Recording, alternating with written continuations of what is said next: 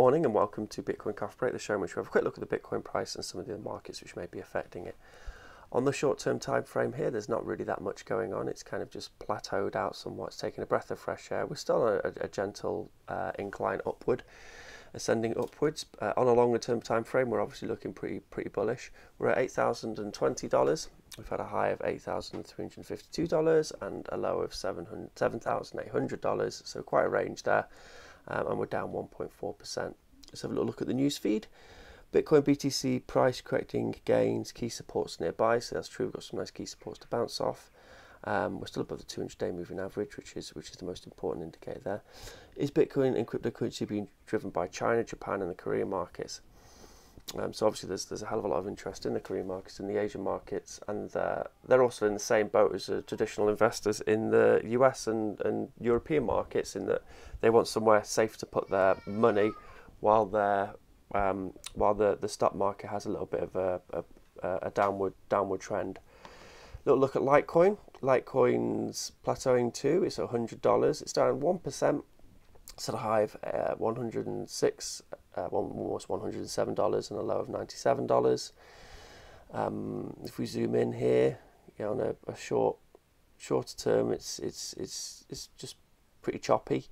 Um, if we zoom out, we're still we're still. I mean, Litecoin in particular has built this this quite nice. If we ignore this this spike here, we've, we've got quite a nice channel for it to, to bounce up and down in. Um, so we'll see, we'll see how that goes. Um, it's been building that pretty much pretty much all year.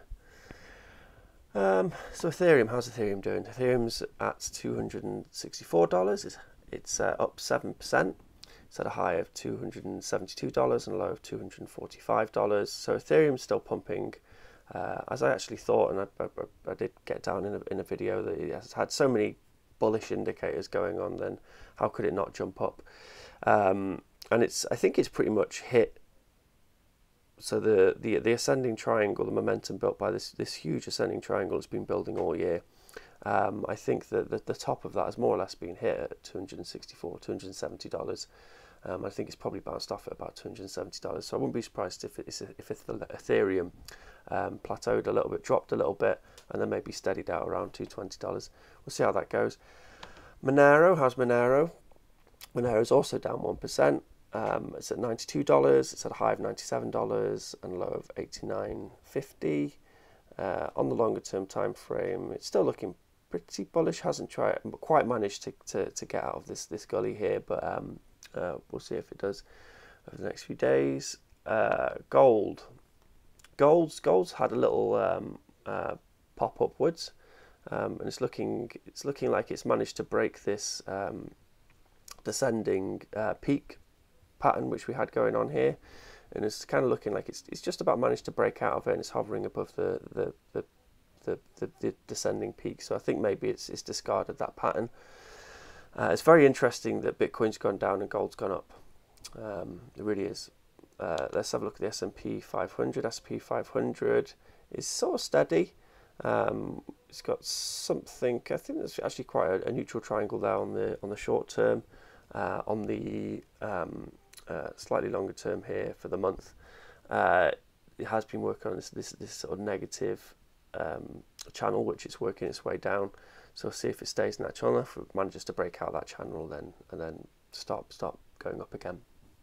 I imagine it will. I imagine that they'll, you know, the, the trade talks will um, uh, eventually calm, and then the the, the, the, the markets will, will steady themselves. Let's have a look in the news shall we? Asia shares slip as US sanctions on Huawei threaten fresh tensions with China. Oh no, it's still escalating, it seems. Uh, global markets, Asia shares slip. Oh, that's the same, same, uh, same news story there. Asia markets mixed as Trump moves to ban Huawei. Uh, US stock rally on reports may soften tone on auto tariffs.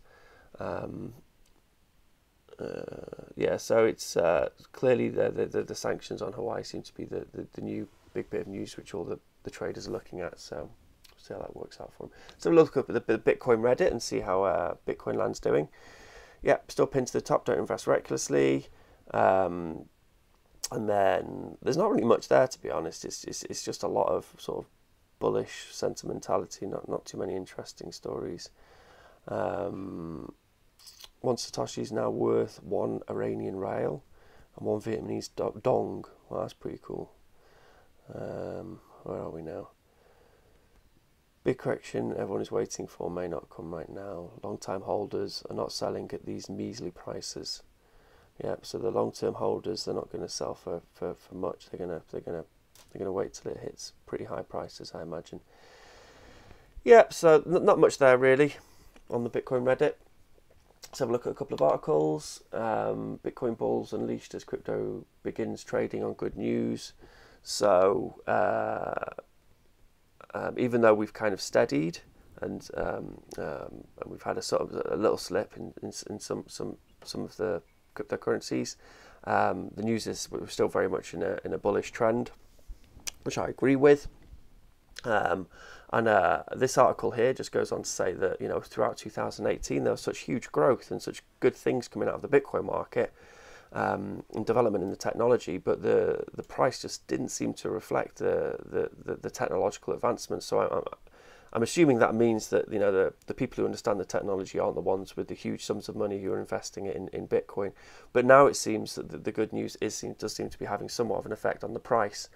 Um, so we'll we'll see. Hopefully that will continue, and the the, the, the level of, of trader and investor who starts putting money into Bitcoin are going to pay more attention to the technology because obviously the technology is the important bit.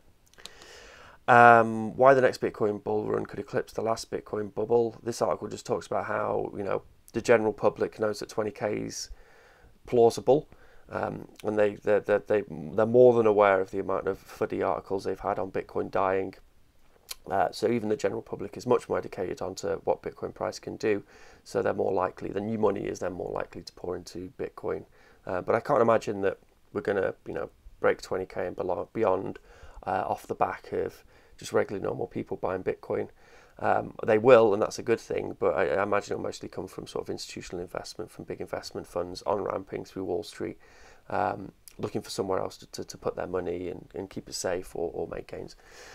So last article here. Let's have a look. Bitcoin's recent price surge due to its maturation as an asset. So yeah, pretty much what I just said then. You know, I think Bitcoin's very much being viewed as a as a as a gold, or somewhere safe to put your money, um, for better or for worse, uh, and that's obviously going to have a, a, bearing on the price. So I mean, that's pretty much Thursday. Um, not really much else going on in Bitcoin land there, unless I hope I haven't missed anything too important. Uh, I'll see you tomorrow and have a good day.